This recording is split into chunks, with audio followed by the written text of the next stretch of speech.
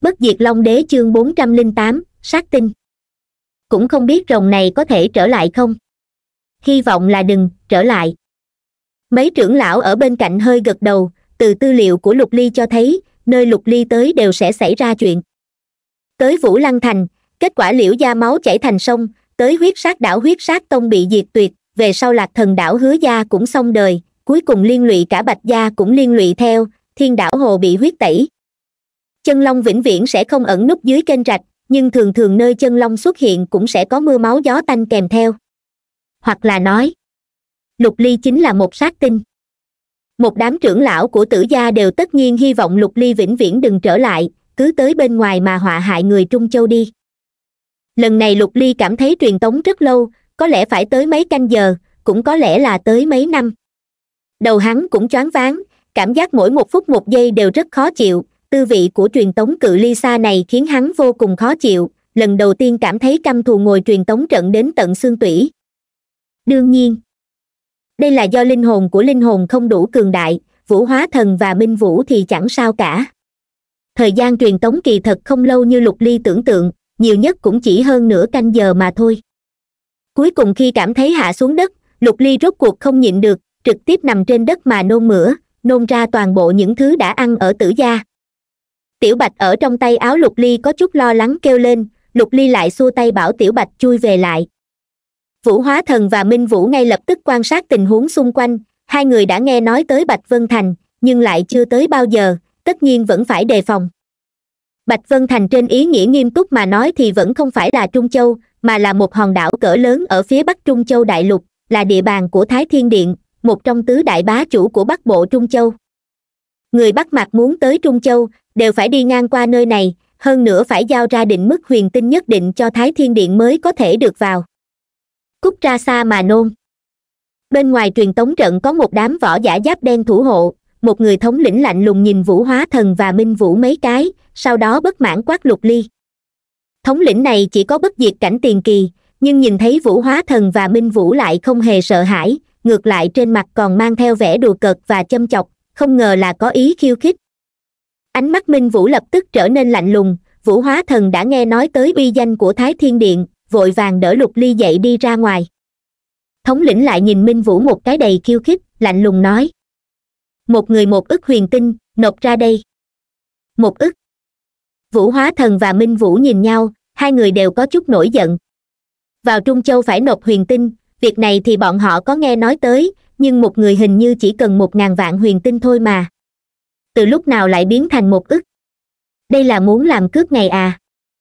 Xa xa hai bóng người chạy vội đến, một lão giả từ xa đã cười ha hả. Ha ha ha, thái hồng, ngươi điên rồi à. Ngay cả khách quý của đỗ gia chúng ta cũng dám lừa gạt. Người đổ gia tới tiếp ứng rồi, vũ hóa thần và minh vũ thở vào như trút được gánh nặng nếu không ầm ĩ với người của thái thiên điện, ba người chắc cũng không có quả ngọt mà ăn. Trong mắt vũ hóa thần và minh vũ cũng trở nên ngưng trọng, ở bắc mạc có lẽ bọn họ có thể đi ngang, nhưng tới trung châu cường giả như mây, bằng vào chút thực lực này của bọn họ e là trên đường đi sẽ không được quá thuận lợi. Tại hạ đổ gia đổ nhiễm, bái kiến công tử.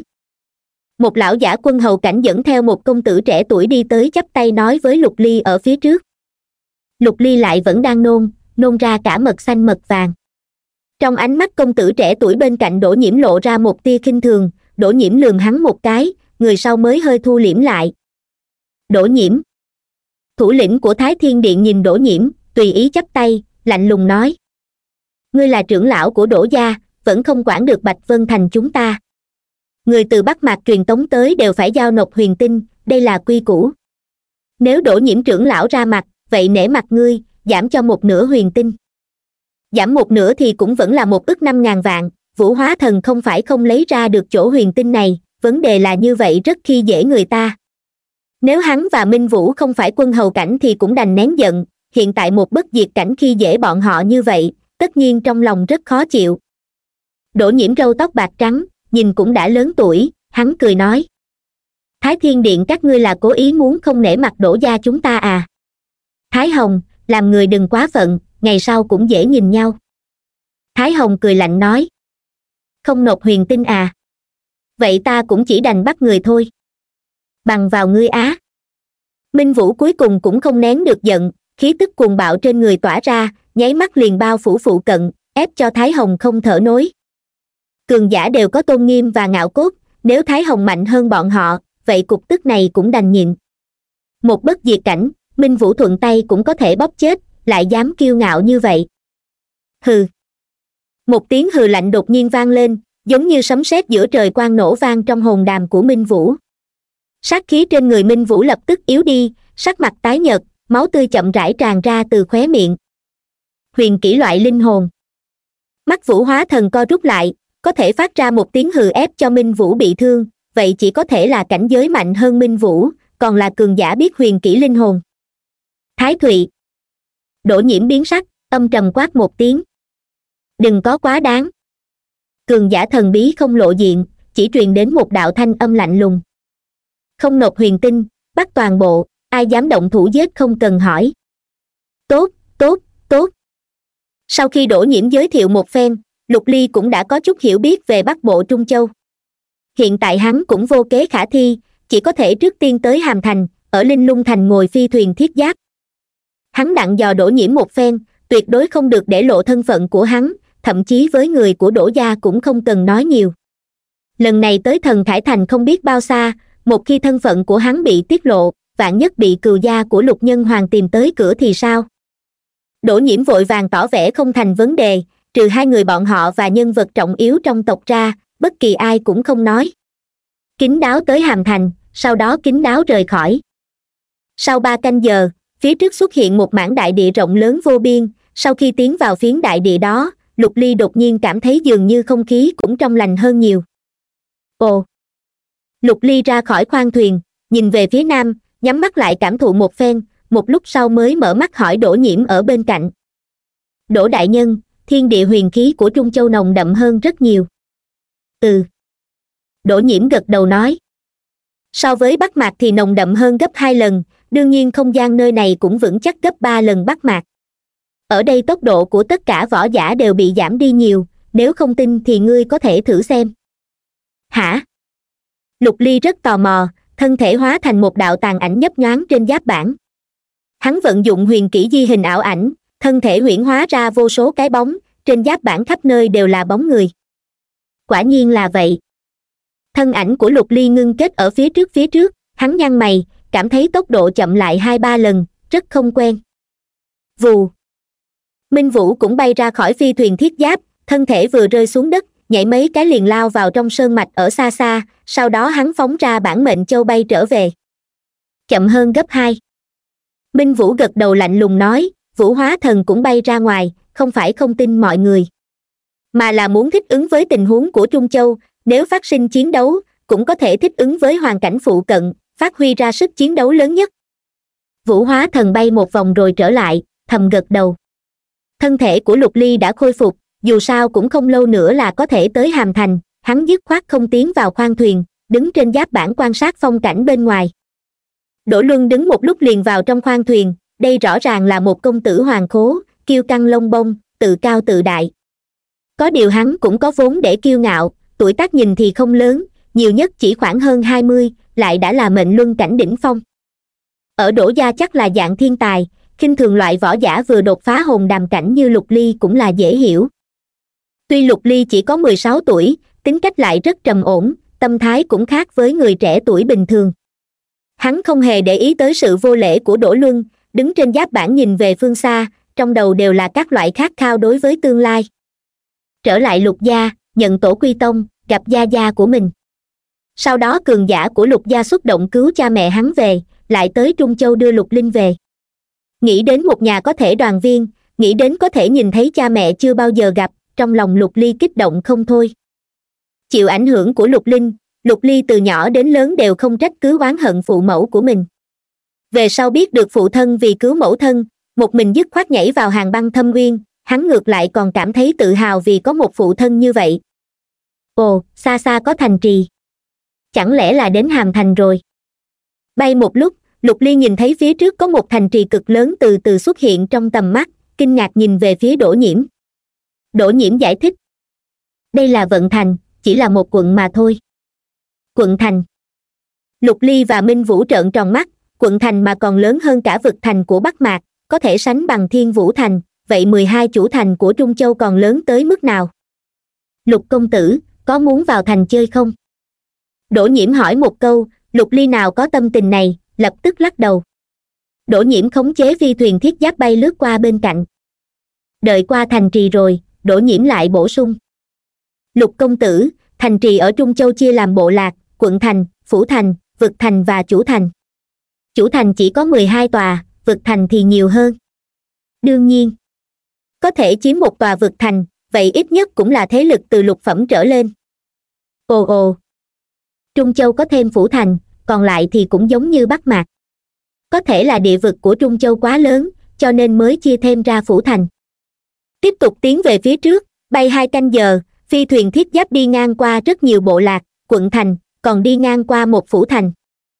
Trên đường còn gặp mấy chiếc phi thuyền thiết giáp, phi thuyền thiết giáp là vật hiếm lạ ở bắc mạc, nhưng ở trung châu thì lại rất thường thấy.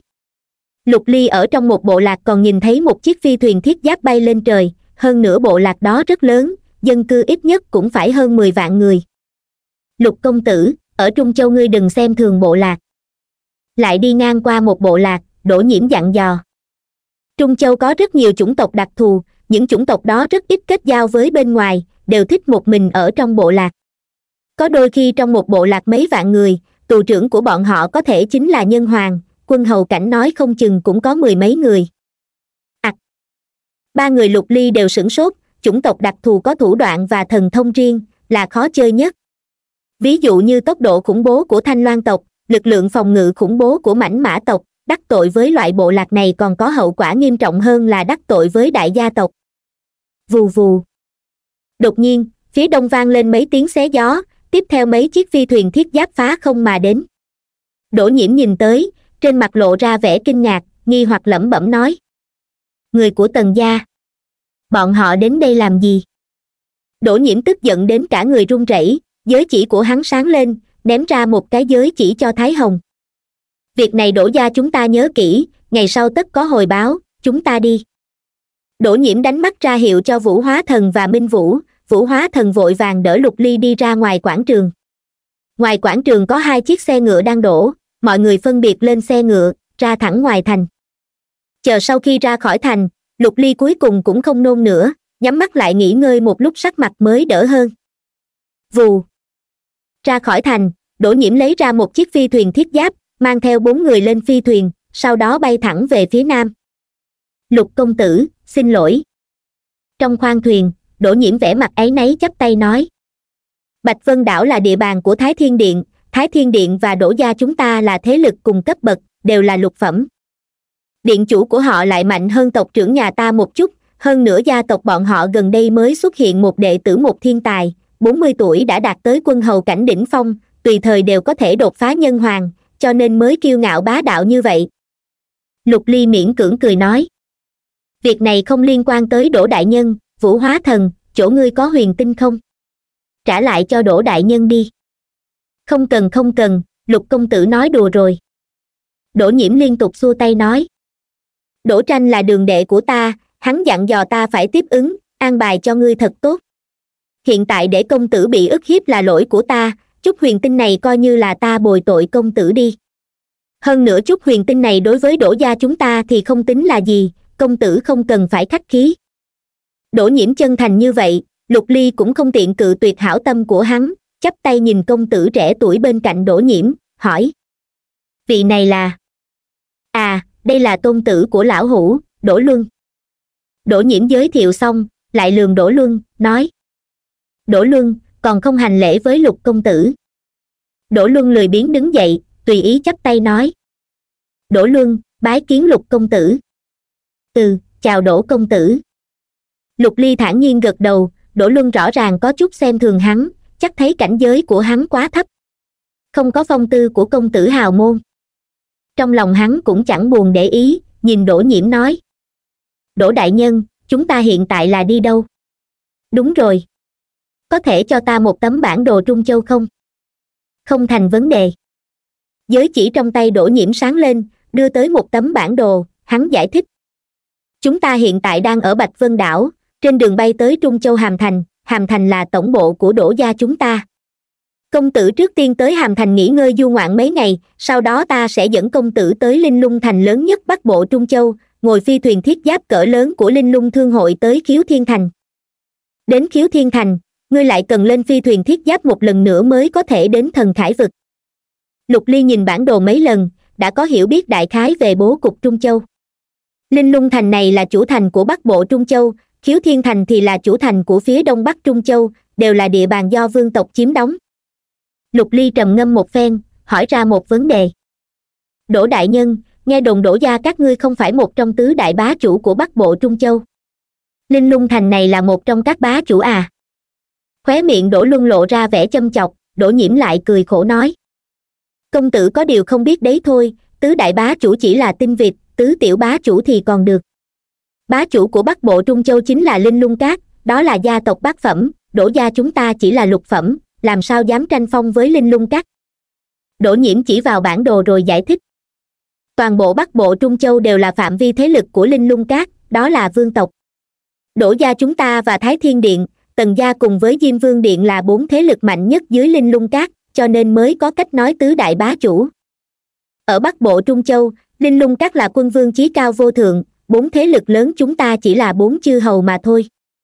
Lục ly đang nghe truyện trên tv audio cv đã hiểu vũ hóa thần cũng đã nắm được về tình huống bên này, minh vũ lại không hiểu lắm, hỏi.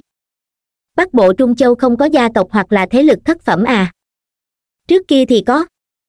Đỗ nhiễm nói. Mấy trăm năm trước có hai thế lực thất phẩm, có điều hai thế lực này bạo phát một hồi đại chiến. Cuối cùng một gia tộc bị diệt tộc, một thế lực còn lại cũng tử thương thảm trọng, lưu lạc thành thế lực lục phẩm, cũng chính là thái thiên điện hiện tại. Lục ly rất là kinh ngạc, hỏi linh lung các không quản à. Ha ha. Đỗ nhiễm cười cười, vuốt râu nói. Công tử chắc chưa hiểu nhiều về trung châu, ở trung châu, thập nhị vương tộc chính là quân vương vô thượng. Chỉ cần không trêu chọc họ, các đại gia tộc phía dưới có hỗn chiến toàn bộ bọn họ cũng không để ý tới. Thậm chí, thế lực bên ngoài khai chiến với thế lực dưới tay họ, bọn họ cũng không quản. Chỉ cần không xúc phạm tới lợi ích của bọn họ, không đồ sát dân thường không phá hoại quy tắc mà bọn họ định ra, bọn họ sẽ không quan tâm gì hết. Ồ. Lục ly và minh vũ nhìn nhau, hai người đều có chút không biết phải nói gì. Thế lực dưới tay mình hỗn chiến cũng mặc kệ, thế lực bên ngoài đánh tiểu đệ mình cũng không quản. Cái này giống vậy hứa trần tấn công huyết sát đảo, bạch gia có thể không quản. Nhưng vũ gia tấn công huyết sát đảo hoặc là lạc thần đảo, bạch gia khẳng định sẽ quản, nếu không thì ai còn phục bạch gia? Trung châu còn loạn hơn so với trong tưởng tượng. Lục ly cảm khái một tiếng, xem ra vẫn ngồi truyền tống trận vẫn an toàn hơn, vấn đề là hắn đi đâu để kiếm được nhiều huyền tinh như vậy. Bạch vân đảo cách trung châu cũng không xa, chỉ có mấy canh giờ lộ trình, có điều sau khi tiến vào trung châu rồi bay tới hàm thành vẫn cần non nửa ngày. Vù. Phía đông lại vang lên hai tiếng xé gió, tiếp theo hai điểm đen không ngừng phóng to, vũ hóa thần và minh vũ lập tức như lâm đại địch bởi vì đó là hai cường giả quân hầu cảnh. Hai đạo thần niệm quét tới, lại lập tức biến mất, hai cường giả quân hầu cảnh đó vòng qua bên cạnh, bay về phía tây. Tần cương, tần dư, đỗ nhiễm càng tò mò hơn, vùng phụ cận chính là địa bàn của đỗ gia, người của tần gia sao lại tự dưng chạy đến đây? Ầm. Ngoài ngàn dặm phía tây, một đạn tín hiệu cực lớn phá không bay lên, nổ tung trên trời. Đỗ nhiễm biến sắc, kinh hô đây là tín hiệu cầu viện khẩn cấp của đỗ gia chúng ta, đã xảy ra chuyện gì rồi? Loại đạn tín hiệu này dưới tình huống bình thường sẽ không được phóng ra, khẳng định là có đại sự xảy ra, người đỗ gia nhìn thấy đạn tín hiệu này phải lập tức chạy tới. Đỗ nhiễm có chút rối rắm, lục ly vẫn còn ở đây, nhiệm vụ của hắn là đưa lục ly tới hàm thành, vạn nhất dẫn theo lục ly lại phát sinh bất ngờ gì thì sao? Chỉ là bên kia đã phóng ra tín hiệu cầu viện đỗ nhiễm lại rất lo lắng lục ly nghĩ nghĩ một chút rồi nói. Đỗ đại nhân, đi xem thế nào? Ở địa bàn của đỗ gia các ngươi thì có thể xảy ra chuyện gì chứ? Cùng lắm thì chúng ta không tới quá gần là được. Tốt. Đỗ nhiễm nghĩ nghĩ một chút, ở địa bàn đỗ gia đích xác khó xảy ra chuyện. Hắn lập tức khống chế phi thuyền thiết giáp phá không mà đi, hơn nữa tốc độ đạt tới cực hạn, hóa thành một đạo lưu tinh bay về phía tây. Tốc độ của phi thuyền thiết giáp rất nhanh cự ly ngàn dặm trong thời gian hai nén hương là tới. Còn chưa tới gần địa điểm phát ra tín hiệu, phía dưới đã hai bóng người bay lên, đỗ nhiễm nhìn lướt qua nói. Là thám báo của đỗ gia chúng ta. Hai võ giả mệnh luân cảnh bay lên, quỳ một gối nói. Tham kiến thập nhị trường lão, tham kiến mấy vị đại nhân. Đã xảy ra chuyện gì, vì sao lại phóng thích tín hiệu cầu viện khẩn cấp? Đỗ nhiễm hỏi. Một thám báo trả lời trong núi bên kia xuất hiện một khối hoàng kim cổ quan trên cổ quan còn cắm một thanh binh khí thánh cấp, bên trong chắc có trọng bảo. Người tần gia phát hiện trước, lúc này đang chuẩn bị cướp đoạt, cho nên chúng ta triệu tập cường giả gia tộc tới đoạt lại. Hoàng kim cổ quan bên trên còn cắm một thanh thần binh. Trong mắt lục ly lóe lên tinh mang, sau đó vẻ mặt trở nên kinh ngạc, đây không phải là long đế quan từ trong long đế trũng bay ra chứ? Minh vũ và vũ hóa thần chưa bao giờ thấy long đế quan vũ linh hư chết rồi, vũ hóa thần không có tình báo trong long đế trũng minh vũ thì không quá quan tâm tới việc này. Cho nên hai người không có phản ứng quá lớn, lục ly thì trong lòng lại như có lửa đốt, yêu ma đó từng nói, tàn bảo của long đế đều ở trong cổ quan. Tàn bảo một đời bắt mạc đại đế, bên trong không dám nói là nhiều, nhưng trăm ức huyền tinh thì chắc vẫn có chứ. Lục ly ở trên long đế quan có được một cái giới chỉ, trong giới chỉ đó có ba mươi sáu gốc linh tài còn có sáu gốc thăng long thảo. Sáu gốc thăng long thảo này đã có giá năm mươi sáu mươi ức huyền tinh, trong long đế quan nói như thế nào thì ít nhất cũng phải có bảo vật giá trị trăm ức huyền tinh chứ. Lục ly hiện tại thiếu nhất là huyền tinh, nếu có huyền tinh thì hắn có thể một đường truyền tống, có thể trong một hai tháng tới thần khải vực, cũng sẽ vô cùng an toàn. Thành trì trong trung châu bình thường đều không cho phép động võ, ở trong thành không ngừng truyền tống sẽ an toàn hơn rất nhiều. Trong lòng lục ly khẽ động, hỏi hoàng kim cổ quan là bộ dạng gì? Thám báo nhìn đỗ nhiễm một cái, người sau gật đầu, thám báo liền giải thích. Quan tài đó rất khí phái, dài mười mét, độ rộng và độ cao khoảng hai mét. Trên bốn góc còn có hàng thiết cự liên, toàn thân màu hoàng kim, chắc là từ hoàng kim đúc thành. Còn có rất nhiều phù văn, đồ án, trên nắp quan tài cắm một thanh chiến đao cực lớn, rõ ràng là thần binh thánh cấp. Quả nhiên hình dung của thám báo giống hệt với long đế quan mà lục ly đã từng nhìn thấy, có thể xác định chắc chắn. Lục ly lục ly khó hiểu là, long đế quan từ long đế trũng bay đi, vì sao lại bay đến trung châu? Chẳng lẽ là yêu ma đó khống chế? Phi thuyền thiết giáp tiếp tục bay về phía trước, lục ly không hỏi nhiều, chỉ nhìn phía trước. Đỗ nhiễm lại hỏi một chút tình huống bên đó, biết được đã truyền tin về, cường giả của đỗ gia sau khi thấy sẽ đến tiếp viện, đỗ nhiễm mới yên tâm lại phi hành về phía trước mấy chục dặm, xa xa đột nhiên nhìn thấy có vô số bóng người. Trên bầu trời khắp nơi đều là người, bay lượn đầy trời, đều chắn trước một khối hoàng kim cổ quan cực lớn. Lục ly nhìn lướt qua, lập tức xác định là long đế quan. Lúc này quan tài đó không ngờ giống như có sinh mệnh xông trái lao phải, tốc độ vô cùng khủng bố. Không ngừng đẩy các võ giả mệnh luân cảnh, bất diệt cảnh ra, gian nan phá vây. Ặc trong mắt đỗ nhiễm hiện lên một tia nghi hoặc có điều sắc mặt lại trở nên hồng nhuận, cổ quan này quỷ dị như vậy, bên trong khẳng định có trọng bảo. Tần cương, tần dư. Nhìn lướt qua đỗ nhiễm ở bên cạnh, thấy hắn đang nhíu mày, trên bầu trời lúc này đều là người của tần gia, vừa rồi hai quân hầu cảnh của tần gia đã tới, đều đang thi triển thủ đoạn muốn trấn áp hoàng kim cổ quan. Bên hắn chỉ có một quân hầu cảnh, nếu như đi tranh đoạt, không khỏi sẽ chịu thiệt. Gia gia, mau xuất thủ đi nếu không đợi lát nữa cổ quan sẽ bị đoạt mất.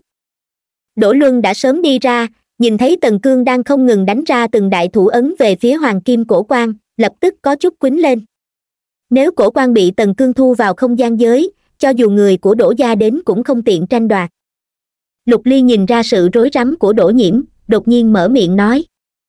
Đỗ đại nhân, ta có thể phái hai người giúp ngươi. Có điều, bảo vật trong cổ quan này ta muốn một nửa vũ hóa thần là quân hầu cảnh trung kỳ, minh vũ cảm ngộ được thế, cộng thêm đổ nhiễm, chắc có thể thoải mái trấn áp hai quân hầu cảnh của tần gia. Bảo vật trong long đế quan có giá trị ít nhất hơn trăm ức huyền tinh, một nửa cũng đã đủ để lục ly truyền tống tới thần khải vực.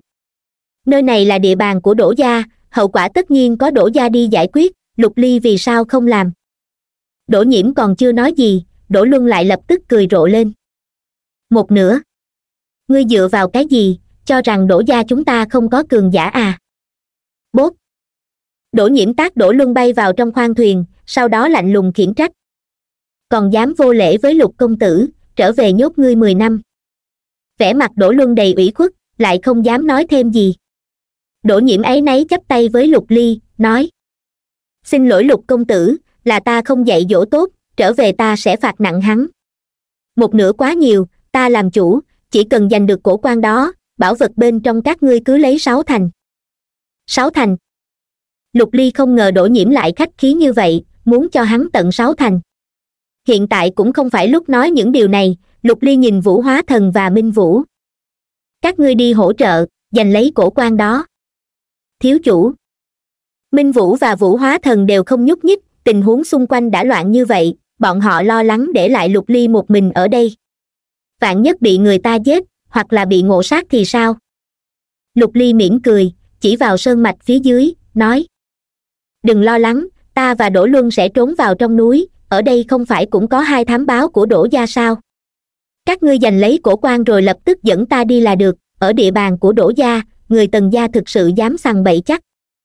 Đỗ nhiễm nghĩ nghĩ một chút cũng thấy có lý, người của tần gia dám cướp cổ quan, nhưng khẳng định không dám giết người của đỗ gia hắn gật đầu với vũ hóa thần và minh vũ, dặn dò thám báo vài câu rồi bay lên trời. Thiếu chủ cẩn thận một chút. Thấy lục ly kiên trì, minh vũ và vũ hóa thần cũng phá không mà đi. Lục ly nhìn đỗ luân, bay xuống dưới, tìm một sơn động kín đáo rồi trốn đi, tựa vào cửa động nhìn ra xung quanh xa xa. Đỗ luân lại không xuống, hắn bị đỗ nhiễm tác cho một cái, trong lòng đang rất hận lục ly, sao có thể ở cùng với lục ly? Hai thám báo mệnh luân cảnh của đỗ gia cũng không dám lơ là, một người đi theo một lục ly, một người đi theo đỗ luân. Đỗ nhiễm, cút ngay. Đây là chúng ta phát hiện trước. Xa xa truyền đến một tiếng quát lớn, hẳn là quân hầu cảnh của tần gia. Bọn họ thấy sắp có thể lấy được long đế quan, sao có thể trơ mắt nhìn bị đỗ nhiễm cướp đi? Ha ha ha. Đỗ nhiễm cười ha hả, đáp lại. Tần cương, đây chính là địa bàn của đỗ gia chúng ta bất kỳ một bảo vật nào xuất hiện cũng đều là của đỗ gia. Các ngươi to gan dám tranh giành, đây là muốn khai chiến với đỗ gia chúng ta à? Động thủ. Bản mệnh châu của đỗ nhiễm đột nhiên biến to, bên trên đột nhiên tỏa ra sương đen cuồn cuộn, sương đen đó lập tức che phủ không gian lân cận. Sương đen đen đậm như mực, lập tức bao phủ người xung quanh, giống như miệng của một con cự thú, nuốt sống mọi người. Long đế quan vốn đang tỏa ra kim quan vạn trượng lúc này không ngờ lại một chút quan mang cũng không còn, chỉ có những tiếng kinh hô từ bên trong truyền đến, còn xen lẫn với những tiếng nổ mạnh. Đây là áo nghĩa gì? Lục ly rất ngạc nhiên, hỏi thám báo ở cách đó không xa. Thám báo giải thích. Đây là mê ảm áo nghĩa của đỗ nhiễm trưởng lão, là hắc ám áo nghĩa tứ phẩm dung hợp với một loại bí thuật đặc thù mà thành, được hắn đặt tên là mê ảm áo nghĩa. Nếu bị nhốt ở bên trong, người cấp bậc thấp hơn hắn căn bản không thoát ra được lợi hại. Lục ly thầm cảm khái không thôi, tuy đã kiến thức rất nhiều loại áo nghĩa, nhưng vẫn cảm thấy khiếp đảm trước sự cường đại của cường giả chân chính, thực lực của hắn vẫn quá thấp. Sương đen rất nhanh liền lan ra, đã bao phủ phạm vi vài dặm, rất nhiều người ở gần đều bị bao phủ. Bên trong không ngừng truyền đến những tiếng nổ mạnh, chắc là đổ nhiễm, vũ hóa thần, minh vũ đang khai chiến với hai quân hầu cảnh của tần gia. Nhất định phải lấy được. Lục ly thầm cầu nguyện có được long đế quan thì hắn có thể được chia rất nhiều huyền tinh, tới thần khải thành cũng thoải mái hơn rất nhiều. Đó là gì thế? Ơ! Long đế quan sao lại bay ra rồi? Một lát sau xa xa đột nhiên hiện lên một đạo kim quang, tiếp theo long đế quan bị đập ra, còn lăn một vòng trên mặt đất, quang mang bên trên đã ảm đạm đi rất nhiều. Vù! Long đế quan lại bay lên, hóa thành một đạo lưu quang, hất văng hai võ giả mệnh luân cảnh, sau đó dùng tốc độ khủng bố bay về phía lục ly. Ha ha ha, cổ quan này là của bản thiếu. Đỗ luân mừng rỡ, trực tiếp từ trên phi thuyền thiết giáp bay ra, một mệnh luân ba tầng ngưng hiện, đột nhiên đánh tới long đế quan. Bùng! Cổ quan bị đập lệch khỏi quỹ đạo, mệnh luân cũng bị hất văng ra, lục ly lại kinh hô. Mẹ nó, xui xẻo thế. Lục ly thầm hô đen quá bởi vì cổ quan lúc này vừa hay hung hăng đập tới phương hướng sơn động nhỏ mà hắn đang ẩn thân, hắn mà không trốn thì sẽ bị nghiền thành thịt nát. Sơn động quá nhỏ, lục ly trốn vào trong sơn động thì chỉ có đường chết. Hắn ngay lập tức phóng ra nhiên huyết thần kỹ, huyền lực vận chuyển, đồng thời còn phóng ra di hình ảo ảnh. Thân thể từ trong sơn động bắn ra, chạy vội ra xa xa. Tốc độ phản ứng của hắn cũng coi như là nhanh, vừa bay đi, hoàng kim đó liền nặng nề đập vào sơn động sơn động đổ sập ầm ầm, đá vụn bay tứ tung, một nửa hoàng kim cổ quan đã cắm vào trong. Tốt quá! Đỗ luân ở cách đó không xa mừng rỡ, hét lớn với hai mệnh luân cảnh của đỗ gia.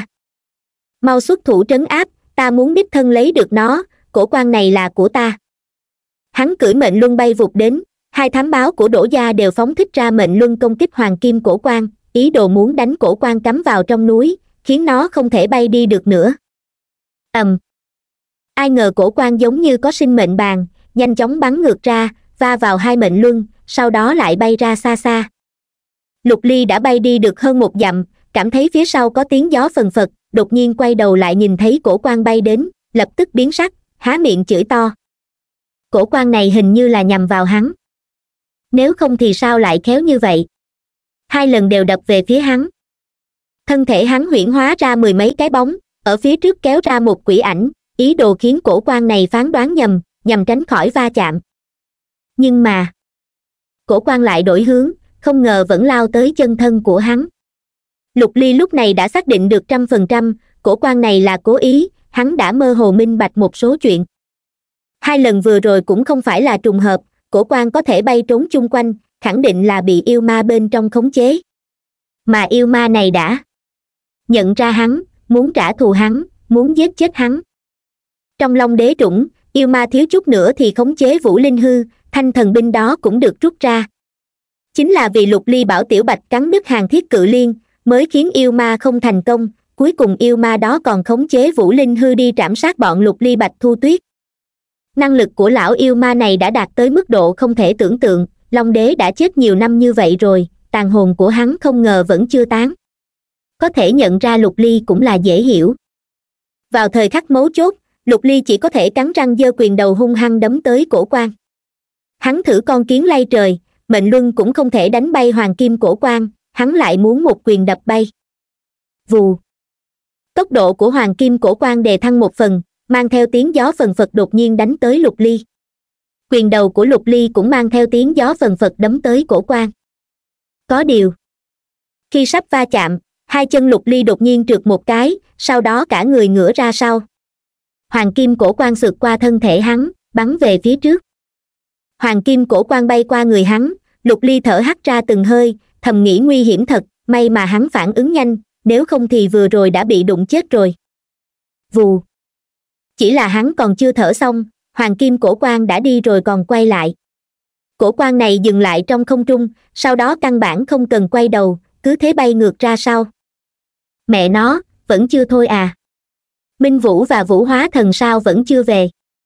Lục ly há miệng chửi to, hắn đảo mắt, bò dậy điên cuồng đào tẩu, chạy tới chỗ đám người đổ luân, hy vọng mượn dùng đám người đổ luân để tránh né đuổi giết. Vù. Nhưng mà quan mang trên hoàng kim cổ quan đột nhiên sáng lên, tốc độ tăng nhanh thoát cái đã đuổi kịp lục ly, đột nhiên đập mạnh vào lưng hắn. Vào lúc sống còn, đầu óc lục ly chuyển động rất nhanh, hắn cắn răng khống chế thân thể ngừng lại khi cổ quan bay vụt đến, hai chân hắn đột nhiên dậm mạnh xuống đất, cả người bay vụt lên, ý đồ muốn nhảy lên trên cổ quan để tránh thoát lần va chạm này. Hắn tính rất chuẩn, lúc cổ quan bay tới vừa hay nhảy lên trên cổ quan thành công tránh được sự va chạm của cổ quan phù phù. Hắn vừa thở được một hơi, một giây tiếp theo lại biến sắc. Bởi vì, hàng thiết cự liên xuyên qua bốn gốc quan tài lại đột nhiên vung lên, như một cây roi nháy mắt đã cuốn lấy thân thể hắn chói chặt toàn thân hắn giống như một cái bánh chưng thịt. A. Đỗ luân và hai thám báo của đỗ gia ở cách đó không xa chạy vội đến, vừa hay thấy một màn này. Ba người đều trợn tròn mắt, cổ quan này thành tinh à? Hay là dị thú biến thành?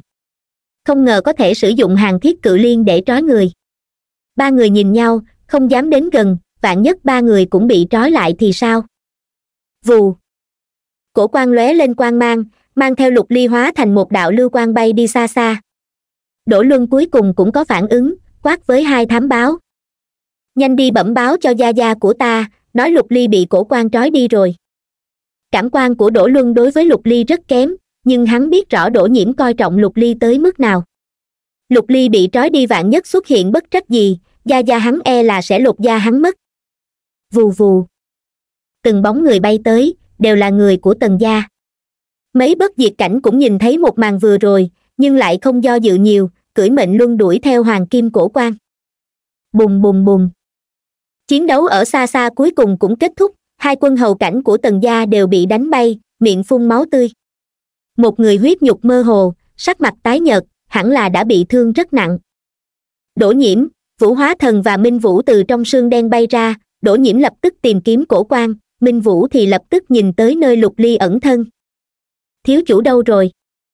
Trong mắt minh vũ hàng quan lấp lánh, vũ hóa thần thì giật nảy mình, vừa nhìn một cái sắc mặt lập tức trở nên rất khó coi. Đỗ nhiễm cũng giật mình, nhìn một cái liền biến sắc. Vù! Thám báo của đỗ gia tới, một người từ xa đã hét lên. Trưởng lão, vị công tử đó bị xích sắt của cổ quan cuốn lấy, bay đến bên kia rồi. Đỗ nhiễm và vũ hóa thần biến sắc, minh vũ thì ngay lập tức bay đi, cưỡi bản mệnh châu, tốc độ đạt tới cực hạn đuổi theo. Đỗ nhiễm hét lớn một tiếng, dùng tốc độ nhanh nhất đuổi theo, đồng thời gầm lên trong không trung. Lập tức truyền tin cho gia tộc, phái người ở phía trước chặn đường cổ quan, nhất định phải bảo đảm thiếu niên bị cổ quan cuốn lấy được bình an vô sự. Đệ tử trực hệ của lục gia. Nếu xảy ra chuyện ở địa bàn của đỗ gia, ngày sau khi lục gia biết được, đỗ gia e là sẽ tan thành mây khói. Tốc độ phi hành của cổ quan rất nhanh, nhưng chắc không bằng quân hầu cảnh nếu không thì vừa rồi đã sớm trốn đi rồi. Nghĩ tới điểm này đổ nhiễm, minh vũ và vũ hóa thần cũng bớt lo, lại nghĩ đến đây là địa bàn của đỗ gia, trong thành trì cũng có truyền tống trận, cường giả của đỗ gia rất nhanh sẽ tới nơi. Lục ly vẫn có hy vọng được cứu về, minh vũ và vũ hóa thần lại đỡ lo hơn mấy phần. Đương nhiên, đây đều là hai người tự an ủi mình. Tốc độ của hai người đạt tới cực hạn, trong lòng cũng không ngừng hối hận sớm biết vậy đã không nên để lục ly ở lại một mình. Vũ hóa thần bị gieo hồn trùng, không dám có lòng gây nguy hại tới lục ly, ngược lại hy vọng hắn đừng có gặp chuyện không may. Nếu lục ly xảy ra chuyện, kịp luyện hóa ấn ký trong ngọc phù thì còn đỡ, nếu chưa luyện hóa mà đã chết, hồn trùng trong ốc hắn có thể sẽ bạo động, đến lúc đó hắn chết như thế nào cũng không biết. Ba người vừa cầu nguyện vừa thầm tự trách, một đường đuổi theo. Chuyện khiến ba người hoảng sợ đã xảy ra bọn họ đuổi theo cả mấy trăm dặm, không ngờ vẫn không nhìn thấy cái bóng của hoàng kim cổ quan thám báo của đỗ gia không thể gạt người, hoặc là tốc độ của hoàng kim cổ quan đã đề thăng, còn nhanh hơn bọn họ nhiều. Hoặc hoàng kim cổ quan thay đổi phương hướng, nếu không thì không thể lại ngay cả cái bóng cũng không nhìn thấy. Lại đuổi theo mấy chục dặm, phía trước có hai cường giả bay tới. Đỗ nhiễm nhìn lướt qua, tim như triệt để chìm vào đáy cốc, bởi vì hai người phía trước là người của đỗ gia nếu người của đỗ gia bay tới từ phương hướng này, vậy khẳng định không gặp được hoàng kim cổ quan bọn họ đã mất dấu rồi. Lục ly mất tích rồi. Tin tức truyền về đỗ gia đỗ gia tộc trưởng sợ hãi, ngay lập tức truyền ra mệnh lệnh, triệu tập vô số võ giả truyền tống tới các thành trì phụ cận để tìm kiếm. Đồng thời ra lệnh cho mấy trăm gia tộc xung quanh toàn bộ đều ra khỏi thành tìm kiếm. Nhất thời trong phạm vi mười vạn dặm ít nhất cũng xuất động trăm vạn võ giả trong vô số thành trì phi thuyền thiết giáp bay lên trời, cả thế giới đều tìm long đế Quang và lục ly. Vũ hóa thần và minh vũ thiếu chút nữa thì phát điên, ba người dùng tốc độ nhanh nhất bay lòng vòng ở phụ cận, tìm kiếm long đế Quang. Chuyện khiến ba người hoảng sợ đã xảy ra, đổ gia phát động trăm vạn võ giả, mấy ngàn phi thuyền thiết giáp, tìm kiếm trong phạm vi mười vạn dặm xung quanh. Tìm suốt ba canh giờ, lại không có bất kỳ tin tức nào truyền về lục ly và long đế quan giống như bốc hơi khỏi nhân gian. Một khối quan tài lớn như vậy, một người đang sống sờ sờ sao có thể đột nhiên biến mất? Điều này không hợp với lẽ thường, kết quả này khiến minh vũ và vũ hóa thần không thể chấp nhận. Lục ly vừa từ bắc mạc truyền tống đến trung châu, vừa bước vào thổ địa của trung châu lại mất tích. Vũ hóa thần lo lục ly chết rồi, hồn trùng của hắn sẽ phát tác. Trong lòng minh vũ lại vô cùng áy náy và tự trách nếu sau này gặp lại lục nhân hoàng thì hắn nên ăn nói thế nào? Đỗ gia lại phát động nhiều người hơn, phạm vi điều tra được mở rộng gấp trăm lần, bắt đầu tìm kiếm trong phạm vi mấy trăm vạn dặm. Long đế quan này không thể tự dưng mà bốc hơi, nhất định là lẫn trốn ở chỗ nào đó. Trên thực tế, long đế quan đích xác đã trốn đi, trốn vào trong một sơn cốc nhỏ trên đường bọn minh vũ tìm kiếm. Kỳ thật bọn minh vũ đã đi ngang qua nơi này còn có vô số người tìm kiếm cũng đi ngang qua nơi này, nhưng không một ai hạ xuống sơn cốc nhỏ mà tra xét.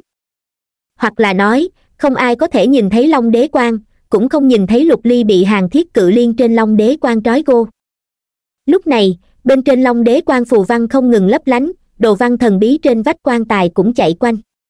Long đế quan không tỏa ra kim quan vạn trượng, mà là tỏa ra thanh quan mờ mờ, hình thành một vòng bảo hộ trong suốt có đường kính hơn mười mét chính bởi vì vòng bảo hộ này khiến long đế quan giống như bốc hơi khỏi nhân gian, đừng nói là mắt, cho dù là thần niệm cũng không cảm ứng được. Lục ly còn bị hàng thiết cự liên cuốn lấy, lúc này trạng thái của hắn rất không tốt, trạng thái của tiểu bạch cũng không tiện.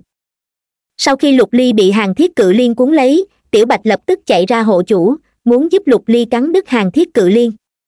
Có điều trên nắp quan tài lại vươn ra dây leo màu đen cuốn lấy tiểu bạch, dây leo này giống hệt với hắc đằng trên đỉnh long đế sơn chỉ khác nhau là dây leo nơi này có lục quan lưu chuyển. Chính bởi vì những lục quan đó, tiểu bạch mới không ngừng giãy dụa, không ngừng cắn xé, nhưng cuối cùng vẫn không thể cắn đứt hắc đằng. Nó chỉ có thể không ngừng gào thét, lo lắng nhìn lục ly, phát ra những tiếng gầm thê lương. Tiếng gầm của nó cũng không thể truyền ra khỏi vòng bảo hộ màu xanh ở bên ngoài, cho nên nó có kêu thế nào cũng vô dụng. Lục ly thì càng không ổn hơn tiểu bạch từng đạo lục quang trong hàng thiết cự liên màu đen đó lưu chuyển đến, không ngừng rót vào thân thể hắn. Tính cảnh này giống hệt vũ linh hư ngày đó, có điều vũ linh hư tay cầm thần binh, yêu ma đó thông qua thần binh khống chế vũ linh hư. Lúc này yêu ma rất rõ ràng là đang thông qua hàng thiết cự liên, vận dụng năng lượng đặc thù bắt đầu xâm nhập vào thân thể lục ly. Nói chính xác hơn thì là xâm nhập thân thể và linh hồn của lục ly. Lục ly không thể động đậy, cơ nhục cả người lại lồi lên toàn thân đều vặn vẹo, hai mắt lúc đỏ lúc đen, vẻ mặt vô cùng dữ tợn, giống như một con giả thú bị nhốt, không ngừng phát ra tiếng gầm giận dữ. Lục ly cảm thấy rất rất thống khổ thống khổ chưa từng có, bởi vì thống khổ lần này không chỉ là trên thân thể, mà còn cả ở trên linh hồn. Những năng lượng màu xanh lục đó xâm nhập thân thể hắn hắn cảm thấy toàn thân không còn bị hắn khống chế. Những năng lượng màu xanh lục đó đang không ngừng chiếm lấy thân thể hắn hoặc là nói, đang cải tạo thân thể hắn, đang ma hóa thân thể hắn. Thân thể vẫn là thứ yếu, linh hồn mới là căn bản. Từng dòng năng lượng màu xanh lục giống như ngàn vạn lục châm bùa vào trong hồn đàm của lục ly lục ly cảm thấy hồn đàm bị một vạn lục châm không ngừng đâm. Loại thống khổ này không thể dùng ngôn ngữ để biểu đạt, giống như vạn tiễn xuyên tâm. Năng lượng màu xanh lục tiến vào hồn đàm của hắn, lục ly cảm thấy hồn đàm của mình đang dần dần chìm đắm hồn đàm từ ngoài vào trong, bị công chiếm từng chút từng chút, chậm rãi phóng ra lục quang. Hắn cảm thấy ý thức của mình dần dần trở nên không tỉnh táo, giống như bị người ta hạ mê dược, tuy nỗ lực muốn mở mắt ra, muốn làm gì đó, nhưng lại không làm được gì cả. Sâu trong linh hồn của hắn truyền đến một loại kinh sợ. Trong lòng hắn hiểu rất rõ, yêu ma đó đang cướp lấy thân thể và linh hồn của hắn, cũng chính là đoạt xá trong truyền thuyết. Giống như vũ linh hư hắn có thể triệt để biến thành ma nô mất đi bản thân, biến thành không có linh hồn, biến thành một cái xác không hồn. Linh hồn của mình sẽ triệt để trầm luân, nhục thân bị một yêu ma khống chế, đây là một loại trạng thái đáng sợ cỡ nào. Thân thể là cha mẹ ban cho, giờ lại bị yêu ma chiếm đoạt. Lục ly hắn sẽ biến thành một yêu ma, đồ sát nhân loại cả thế giới, ăn sống thịt người. Bị vô số võ giả vô số nhân loại đuổi giết, cuối cùng bị loạn đao phân thây lục linh nghĩ tới nếu mình biến thành ác ma cha mẹ mà ra ngoài biết mình bị người ta loạn đao phân thây. Lục ly lại thống khổ gào thét dùng hết toàn lực mà giãy giụa, sắc mặt càng lúc càng khó coi và dữ tợn. Lục ly từ trên hoàng kim cổ quan lăn xuống bởi vì thân thể bị hàng thiết cự liên trói chặt cho nên hắn chỉ có thể lăn lộn trên mặt đất gần đó. Quấn áo hắn tả tơi tóc tai lộn xộn không ngừng vặn vẹo thân thể không ngừng ngửa mặt lên trời rít gào lại giống như một con châu chấu bị dây thường xuyên qua, có thế nào cũng không dãy ra được. Thời gian từ từ trôi qua. Năng lượng màu xanh lục cuồn cuộn không ngừng rót vào thân thể và linh hồn của lục ly, lực độ dãy dụa của lục ly càng lúc càng yếu. Tiếng hô càng lúc càng nhỏ, lục quang trên mặt và hồng quang trong mắt càng lúc càng thịnh. Bên ngoài đã là nửa đêm, cách lúc hắn mất tích đã qua sáu canh giờ, ý thức tỉnh táo trong linh hồn lục ly đã yếu lắm rồi đây còn là nhờ ý chí lực của hắn rất cường đại, nếu là một người bình thường e là đã sớm ý thức trầm luân. Đương nhiên, nhìn tình huống thì không tới một hai canh giờ nữa, ý thức của lục ly sẽ triệt để trầm luân, thân thể hắn sẽ bị yêu ma khống chế hoàn toàn. Đúng lúc này, trong sơn cốc đột nhiên có mấy võ giả đi ngang qua, sơn cốc này vốn rất nhỏ, liếc một cái là có thể nhìn xuyên, trước kia võ giả thường thường khi đi qua chỉ liếc một cái là tiếp tục tiến về phía trước có lẽ lúc này là nửa đêm, mấy võ giả này mệt rồi, không ngờ liền đi vào bên trong sơn cốc, dường như chuẩn bị nghỉ ngơi ở đây một lát. Bùng! Một võ giả đang đi, đột nhiên cảm thấy phía trước xuất hiện một vách tường vô hình, hắn va vào vòng bảo hộ bên ngoài long đế quan. Cái gì vậy? Võ giả này kinh hãi, theo bản năng bắn ra một đạo huyền lực, tiếp theo vòng bảo hộ phía trước thanh quan đại thịnh, long đế quan và lục ly liền lộ ra. Quan tài! Quan tài. Nơi đó có thiếu niên, tìm được rồi. Mấy người này đều là thám báo của đỗ gia, mấy người lập tức mừng rỡ kinh hô. Một người phản ứng nhanh, bay vụt lên sơn cốc, ném mạnh đạn tín hiệu trong tay lên không trung. Bùng! Đạn tín hiệu nổ ra trong không trung, giống như pháo hoa cực lớn, chiếu sáng phạm vi mấy chục dặm, kinh động người ở mấy trăm dặm gần đó. Gừ! Phía dưới lục ly đột nhiên phát ra một tiếng tru như giả thú tiếp theo thân thể từ dưới đất bò lên, hàng thiết cự liên đó không ngờ đã thả lỏng hắn ra. Nhưng lục ly chẳng những trốn, ngược lại hai tay túm lấy hàng thiết cự liên, kéo hoàng kim cự quan mà đi. Đêm tối như mực, một thiếu niên hai mắt đỏ ngầu, kéo một chiếc quan tài khổng lồ chạy như điên trong hoang dã. Cảnh này vô cùng quỷ mị, khiến mấy thám báo của đỗ gia sợ tới mức không dám đuổi theo. Đã tìm được quan tài và thiếu niên đó. Tin tức này lập tức được truyền ra vũ hóa thần, minh vũ và đỗ nhiễm ngay lập tức chạy vội tới bên này. Rất nhiều trưởng lão, chấp sự, ngay cả đại trưởng lão của đỗ gia cũng đều tự mình tới. Đạn tín hiệu đã hấp dẫn sự chú ý của rất nhiều người, ít nhất có mấy vạn võ giả từ bốn phương tám hướng chen chúc ùa tới bên này. Đỗ gia đã treo thưởng rất cao, cứu được thiếu niên này sẽ được thưởng một ức huyền tinh.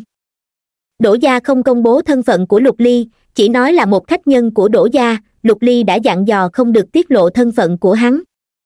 Phương hướng lục ly kéo quan tài đi, rất nhanh có một đám võ giả xông tới. Lục ly lại mắt đỏ rực tiếp tục tiến về phía trước, trên hàng thiết cự liên phía sau hắn lục quan lấp lánh, vẫn không ngừng có năng lượng màu xanh lục rót vào trong cơ thể hắn. Lục ly thỉnh thoảng lại phát ra bị tiếng trống to giống như giả thú, tiểu bạch bị hắt đằng trên cổ quan phía sau cuốn lấy cũng trống theo. Tiểu bạch vô cùng lo lắng nhìn lục ly bởi vì nó cảm giác được lục ly lúc này không còn giống chủ nhân lúc trước. Trên thực tế, lúc này lục ly kéo quan tài tiến về phía trước, đích xác không phải bổn ý của hắn. Thân thể hắn đã không còn do hắn khống chế, hoàn toàn là bị yêu ma đó khống chế. Long đế quan bị người ta phát hiện, yêu ma biết rất nhiều cường giả khẳng định sẽ lập tức vây tới. Cho nên hắn chỉ có thể trốn, về phần. Vì sao không khống chế long đế quan bay đi giống như lúc trước? Ngược lại đi khống chế lục ly kéo quan tài, vậy thì không biết được.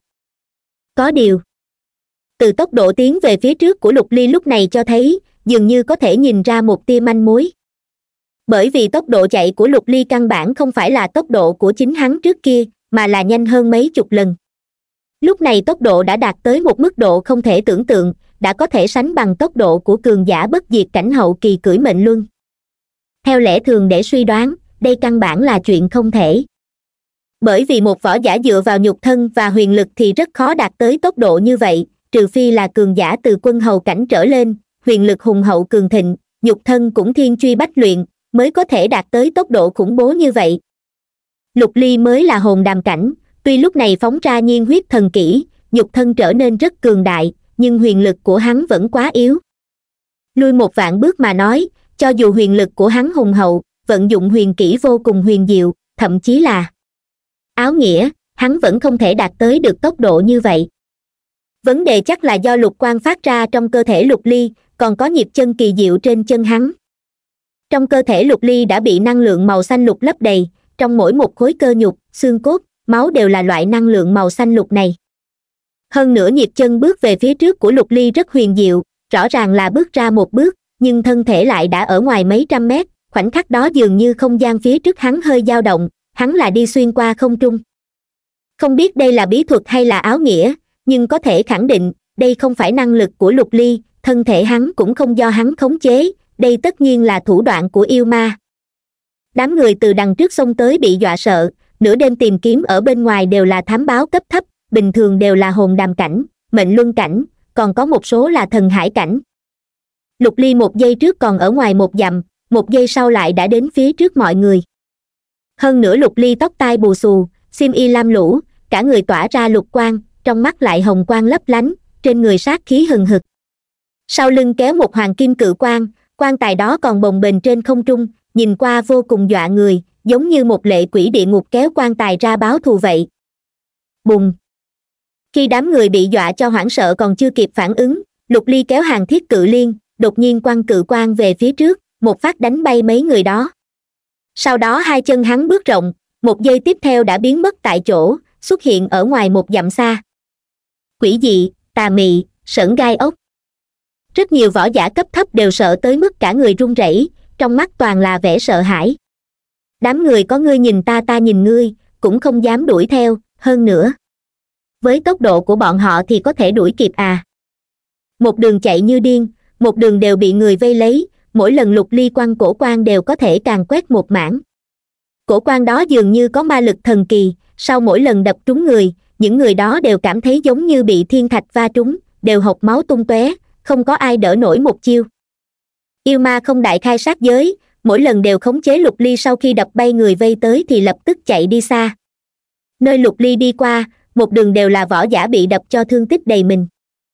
Gừ gừ gừ bản thân lục ly thì lại thỉnh thoảng ngửa mặt lên trời gầm to, phát ra những tiếng gầm giống như giả thú. Trong trời đêm yên tĩnh này, lộ ra vẻ to rõ và quỷ dị lạ thường. Cuối cùng cũng có cường giả đuổi tới, ở thành trì phụ cận truyền tống tới bốn võ giả bất diệt cảnh. Bốn người cưỡi mệnh luân bay tới bên lục ly, vừa hay nhìn thấy lục ly quăng cổ quan đập bay mấy thám báo của đỗ gia. Bốn người theo bản năng liền cảm thấy giận dữ, lục ly không ngờ lại công kích người của đỗ gia bốn người cũng không biết thân phận cụ thể của lục ly, chỉ biết lục ly là khách nhân được đổ gia tộc trưởng coi trọng. Một khách nhân lại đánh bị thương người của chủ nhà, chủ nhân tất nhiên không vui. Không đúng. Mắt tiểu tử đó đỏ rực, thần chí không rõ, hẳn là hóa ma rồi. Một người có phản ứng, mắt lấp lánh nói. Chúng ta liên thủ công kích cổ quan đó, vây khốn tiểu tử này, đừng đã thương đến hắn. Vù. Người này nói xong thân thể lục ly đột ngột huyễn hóa ra từng đạo ảnh tử, phía dưới xuất hiện mười mấy lục ly, cổ quan cũng xuất hiện hơn mười cổ. Sau đó, lục ly bước một bước về phía trước, mười mấy lục ly không ngờ tỏa ra bốn phương tám hướng, phía sau mỗi lục ly không ngờ cũng xuất hiện hơn mười cổ cổ quan quan trọng nhất là, tất cả lục ly đều giống hệt nhau, cổ quan cũng vô cùng chân thật, bốn bất diệt cảnh dùng thần niệm tra xét một phen, căn bản không phát hiện được đâu là chân thân thần hồ kỳ kỹ bốn bất diệt cảnh đang nghe truyện trên tv audio cv và đám người phía dưới thấy mà trợn tròn mắt. Đây rõ ràng đã vượt quá phạm trù của huyền kỹ bí thuật. Đây tuyệt đối là áo nghĩa. Áo nghĩa vô cùng cường đại. Vấn đề là, lục ly mới là hồn đàm cảnh, cũng chỉ mười mấy tuổi, sao có thể cảm ngộ được áo nghĩa? Trong lịch sử trung châu, yêu nghiệt biến thái nhất cũng phải hai mươi mốt tuổi mới cảm ngộ được áo nghĩa, nhưng hắn khi đó đã đạt tới bất diệt cảnh nếu muốn cảm ngộ áo nghĩa, yêu cầu thấp nhất cũng phải là bất diệt cảnh. Trong lịch sử chưa bao giờ xuất hiện dưới bất diệt cảnh có thể cảm ngộ áo nghĩa. Hồn đàm cảnh tu luyện linh hồn, mệnh luân cảnh đổi mệnh. Chỉ có linh hồn cường đại, thọ nguyên dài hơn, võ giả mới có thể có cơ hội tiếp xúc với thiên địa bản nguyên, mới có thể có cơ hội cảm ngộ áo nghĩa. Mọi người không biết trong long đế quan lúc này có một yêu ma, cũng không biết lục ly bị yêu ma khống chế cho nên bọn họ đều cho rằng đây là thủ đoạn của lục ly, tất nhiên đều giật mình. Có điều, phân ra mười mấy ảnh tử, cái này rất giống với di hình ảo ảnh của lục ly. Khác nhau là ảnh tử huyễn hóa ra ngay cả thần niệm của bất diệt cảnh cũng không tra xét được. Chắc là yêu ma kia đã cải tạo huyền kỹ di hình ảo ảnh, gia tăng uy lực. Yêu ma có thể ở trong linh hồn của lục ly, đánh cắp huyền kỹ di hình ảo ảnh mà lục ly cảm ngộ, điều này gián tiếp phản ánh một tình huống linh hồn của lục ly gần như đã luân hãm, nói không chừng rất nhanh sẽ triệt để trầm luân, hắn sẽ bị yêu ma đoạt xá. Vù. Trong sơn mạch phía tây phố thành, ba bóng người bay tới, người đi trước tóc trắng như tuyết, sau lưng đeo bảo kiếm, đeo mặt nạ quỷ sát. Người phía sau lưng hùng vai gấu giống như một con giả thú hình người, không phải minh vũ và vũ hóa thần thì là ai? Đỗ nhiễm đi sau cùng, ba người một mực tìm kiếm ở giả ngoại, không nghỉ ngơi dù chỉ một khắc sau khi nhận được tin tức lập tức truyền tống tới phố thành, sau đó ngay lập tức bay tới bên này, bởi vì tin tức là ở gần đây truyền đến. Ba người đều phóng ra bản mệnh châu cấp tốc phi hành, rất nhanh liền nhìn thấy mấy người ngồi xếp bằng dưới đất chữa thương, mấy người đó đều bị lục ly đập bị thương. Người đi đâu rồi? Đỗ nhiễm từ xa đã quát lên, người phía dưới giật mình tỉnh lại, chỉ về phía tây nam, nói. Bên kia. Ba người không dừng lại mà lập tức đuổi theo trên đường đi không ngừng nhìn thấy có người bị đập cho bị thương. Sau khi hỏi vài câu thì biết được bị lục ly quăng cổ quan đánh. Trong mắt ba người đều lộ ra một tia bất an. Lục ly này làm việc rất hiểu chừng mực, tuyệt đối sẽ không sằng bậy. Nếu hắn vung cổ quan đập người, vậy khẳng định không phải là bổn ý của hắn. Nói một cách khác, lục ly có thể đã hóa ma. Đuổi theo. Tốc độ của ba người lại cường hành đề thăng một phần, trong lòng vô cùng cấp bách và lo lắng lại bay gần nửa canh giờ, ba người cuối cùng cũng đuổi kịp bốn võ giả bất diệt cảnh. Người đâu rồi? Đỗ nhiễm từ rất xa đã gầm lên, bốn bất diệt cảnh nhìn về phía đỗ nhiễm, đều ngừng lại, một người có chút hổ thẹn nói. Chúng ta, mất dấu rồi. Mất dấu? Các ngươi là thùng cơm à? Đỗ nhiễm giận tím mặt, lục ly kéo quan tài thì có thể đi nhanh được tới mức nào? Sao có thể mất dấu? Người đó có chút ủy khuất chớp chớp mắt, giải thích trưởng lão, cái này không trách được chúng ta. Tốc độ của tiểu tử đó rất nhanh, không hề chậm hơn chúng ta. Hơn nữa hắn thể huyễn hóa ra mười mấy phân thân, thần niệm cũng không tra xét được. Chúng ta căn bản không biết đâu là chân thân, một lát sau thì mất dấu. Sao có thể? Minh vũ và vũ hóa thần rất kinh ngạc, huyền kỹ di hình ảo ảnh thì minh vũ cũng biết, thần niệm tùy tiện quét qua một cái là có thể phân biệt được chân thân giả thân mà. Sao có thể không tra xét được? Hơn nữa lục ly chỉ là hồn đàm cảnh, tốc độ có thể nhanh tới mức nào? Sao có thể nhanh hơn bất diệt cảnh? Minh vũ và vũ hóa thần hỏi vài câu, sau khi hỏi rõ tình huống lúc đó, minh vũ và vũ hóa thần triệt để ngây đơ. Hai người vẫn không tin, trừ phi đó không phải là lục ly mà họ biết. Ầm. Ngoài mấy ngàn dặm phía đông nam, một chùm pháo hoa cực lớn tỏa ra, chiếu sáng cả nửa thiên không. Minh vũ và vũ hóa thần, đỗ nhiễm lập tức nhìn về bên đó sắc mặt mừng rỡ. Đuổi theo. Rất rõ ràng, bên kia có người của đỗ gia phát hiện không thể chặn lục ly lại, cho nên phóng ra đạn tín hiệu cầu viện. Ba người khống chế bản mệnh châu rạch phá trường không đuổi theo, có điều rất nhanh ba người liền phát hiện một vấn đề, đạn tín hiệu ở xa mấy ngàn dặm. Nói vậy thì trong thời gian rất ngắn, lục ly đã vượt qua cự ly mấy ngàn dặm. Chuyện bốn bất diệt cảnh đó nói rất có khả năng là thật. Ba người đều nghĩ không thông chỉ có thể trước tiên đuổi theo xem tình huống. Cho dù lục ly có tốc độ của bất diệt cảnh, tốc độ của ba người vẫn nhanh hơn gấp mười lần, chắc là có thể đuổi kịp. Mấy ngàn dặm đối với quân hầu cảnh thì không tính là xa, chỉ là sau thời gian hai nén hương, ba người đã tới chỗ phóng thích đạn tín hiệu. Từ xa nhìn tới, lại thấy mấy chục võ giả bị đánh, lục ly và long đế quan lại không thấy bóng dáng. Đỗ nhiễm lại hỏi một câu, gầm lên. Chạy hướng nào? Không biết người bên dưới vẻ mày ngỡ ngàng, một người giải thích. Thiếu niên đó huyễn hóa ra mười mấy ảnh tử, bốn phương tám hướng đều có, chúng ta cũng không biết hắn chạy đi đâu. Chia ra đuổi. Lần này đám người minh vũ không dám tiếp tục dừng lại, từ phương hướng bọn họ đến thì không thể có, ba phương hướng còn lại thì bọn họ vừa hay có ba người. Minh vũ bay theo hướng nam, vũ hóa thần thì phía tây, còn đỗ nhiễm thì phía bắc. Ba người nghĩ cho dù lục ly chạy hết tốc lực với tốc độ của ba người vẫn rất nhanh là có thể đuổi kịp. Nhưng mà, ba người đuổi ra mấy ngàn dặm, lại không phát hiện bất kỳ manh mối nào, hơn nữa thám báo trên đường cũng không bị đánh. Ba người đều cho rằng là đuổi sai phương hướng, lập tức quay lại đổi phương hướng đuổi theo. Sau hai canh giờ, ba người đến một quận thành hội hợp. Nếu hai canh giờ mà không đuổi kịp, vậy khẳng định đã mất dấu, ba người đều muốn về thành tìm hiểu chút tin tức. Không chỉ là ba người đại trưởng lão của đỗ gia dẫn theo mười mấy quân hầu cảnh cũng tới, kết quả lại đều không có bất kỳ phát hiện gì, lục ly lại bốc hơi khỏi nhân gian. Việc này rất tà dị tà dị khiến các trưởng lão của đỗ gia cũng không thể lý giải, càng đừng nói tới người phía dưới. Trung châu nhiều năm như vậy, vẫn chưa nghe nói tới có chuyện quỷ dị như vậy phát sinh. Có điều có người hoài nghi phải chăng trong long đế quan có tà vật tồn tại? Nếu không thì sao có thể tránh được sự điều tra của nhiều người như vậy vô duyên vô cớ bốc hơi khỏi nhân gian. Trời đã sáng, việc này dùng tốc độ khủng bố truyền tới tất cả thành trì bộ lạc trong phạm vi ngàn vạn dặm, hơn nữa càng truyền càng huyền bí. Thậm chí có người bắt đầu lan truyền một thiếu niên từ bắc mạc kéo quan tài mà đến, người này là ác ma từ cửa ra của bắc mạc u minh tới. Hắn muốn ma hóa người trung châu, khiến trung châu biến thành nhạc viên của ác ma. Đỗ gia không biết làm sao, chỉ có thể không ngừng truyền tin võ giả của tất cả gia tộc trong một đại vực mà Đổ gia khống chế đều xuất động, cả thế giới đều đang tìm kiếm lục ly. Tìm đến trưa, vẫn không có bất kỳ tin tức gì truyền đến. Minh vũ vũ hóa thần Đổ nhiễm đều truyền tống tới hàm thành, chờ ở trong thành, một khi có tin tức thì có thể lập tức truyền tống. Mấy ngàn vạn võ giả từ trong các thành trì chạy ra, tìm kiếm khắp nơi. Trong tay rất nhiều võ giả đều có đạn tín hiệu, ngọc phù cảnh báo một khi phát hiện cổ quan và lục ly sẽ lập tức truyền tin.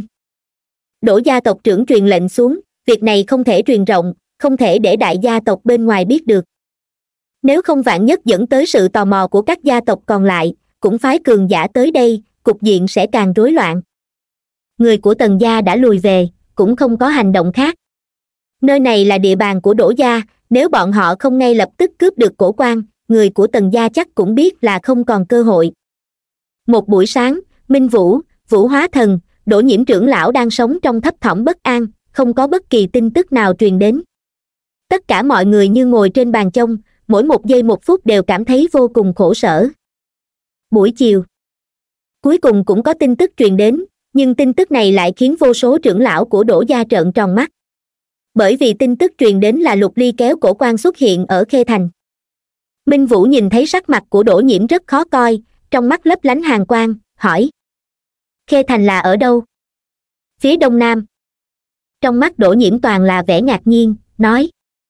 Đi thêm về phía trước đã không còn là địa bàn của đỗ gia, mà là địa bàn của tần gia. Phố thành cách khê thành ức vạn dặm lộ trình, chúng ta dù chạy hết tốc lực cũng phải nửa ngày, lục công tử làm sao mà vượt qua được? Hơn nữa trên đường không ngờ lại không kinh động tới bất kỳ võ giả nào. Việc này rất tà môn địa bàn của tần gia. Vũ hóa thần và minh vũ lại lập tức lao ra ngoài, nhảy vào truyền tống trận. Ở địa bàn của đỗ gia thì không ai công kích lục ly, nhưng tới địa bàn của tần gia, lục ly sẽ sinh tử khó lường. Trong một vùng hoang dã ở phía đông nam khê thành, lục ly kéo quan tài một đường chạy như điên, trạng thái của hắn càng lúc càng không ổn. Tóc tai bù xù, một thân áo xanh rách tung tóe, thân thể có rất nhiều chỗ bị rách da, máu tươi đầm đìa sắc mặt hắn vô cùng khó coi, mắt đỏ rực, giống như hai vần yêu nguyệt. Nhe răng nhếch miệng, thở mạnh phì phì, giống như một con chó hoang đã phát điên. Ý thức của hắn lúc thì tỉnh táo, lúc thì mơ hồ, nếu không phải ý chí lực của hắn cường đại, lúc này chắc đã triệt để trầm miên rồi. Ở sâu trong nội tâm hắn có một cổ khí, một cổ khí không chịu thua, không nhận mệnh. Thân thể hắn không thể bị yêu ma chiếm giữ, hắn không thể biến thành cái xác không hồn không thể biến thành ác ma. Một hai ngày qua, hắn đều đấu tranh với linh hồn của yêu ma, hồn đàm của hắn lúc thì lục quang lấp lánh, lúc thì bạch quang lấp lánh, hắn đang tranh đoạt quyền khống chế hồn đàm với yêu ma. Về phần vì sao hắn có thể từ phố thành lặng lẽ đến khê thành, điều này kỳ thật không liên quan tới hắn, hoàn toàn là năng lực của yêu ma. Yêu ma khống chế long đế quan mở ra cấm chế trong suốt, sau đó một đường từ trong không trung bay tới đây, trên đường đều tránh thành trì thám báo bình thường tất nhiên không phát hiện được. Yêu ma này rất thông minh, hắn chắc biết cường giả ở phố thành quá nhiều, nếu còn ở lại bên đó thì hắn khẳng định không thể trốn thoát, cho nên tiêu phí rất nhiều năng lượng khống chế long đế quan thoát đi. Cũng chính bởi vì yêu ma chuyên tâm đào tẩu, lục ly lúc này vẫn thể bảo trì linh hồn tỉnh táo. Nếu nửa ngày này yêu ma vẫn một mực công kích linh hồn hắn, lúc này hắn e là đã sớm xong đời rồi. Căn cứ vào suy đoán của lục ly yêu ma này khống chế long đế quan phi hành như vậy, chắc rất hao tổn năng lượng. Nếu không yêu ma đã cứ bay mãi như vậy, lúc này khống chế thân thể hắn tiến về phía trước, chính là muốn nghỉ ngơi một lúc để khôi phục năng lượng. Nghĩ đến đây, tinh thần của lục ly trở nên phấn chấn. Năng lượng của yêu ma này đã tiêu hao cực lớn, vậy hắn sẽ có cơ hội thoát khỏi sự khống chế của yêu ma. Hắn vẫn có cơ hội tự cứu, vẫn có hy vọng sống sót thân thể hắn bị yêu ma khống chế kéo quan tài chạy đi, thủ đoạn của yêu ma rất lợi hại, mỗi một giây đều có thể vượt qua một dặm, một đường chạy nhanh trong núi lớn đồng hoang, tránh né truy binh. Lục ly có thể cảm giác được tình huống bên ngoài, lại không thể khống chế thân thể. Hắn hiện tại giống như một tàn hồn bồng bềnh ngoài thân thể, chỉ có thể nhìn, chỉ có thể nghĩ, nhưng lại không thể làm gì. Phải nghĩ biện pháp tự cứu. Đầu óc lục ly chuyển động, đang nghĩ biện pháp hắn suy nghĩ một phen, phát hiện chỉ có hai loại biện pháp, loại thứ nhất chính là tranh đoạt quyền khống chế hồn đàm với yêu ma, khiến yêu ma không thể hoàn toàn đoạt xá, chờ đám người minh vũ vũ hóa thần tới cứu.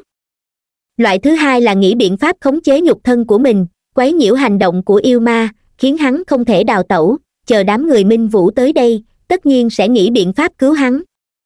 Hắn chỉ có hồn đàm cảnh, thực lực cảnh giới linh hồn đều quá yếu dựa vào chính mình để đối phó yêu ma này thì căn bản là không thể. Sau khi nghĩ thông, lục ly bắt đầu nỗ lực nghĩ biện pháp khống chế thân thể. Tâm niệm hắn tập trung trong thân thể, trên tay chân, nghĩ biện pháp khiến thân thể của mình làm việc theo ý niệm của mình. Bùng.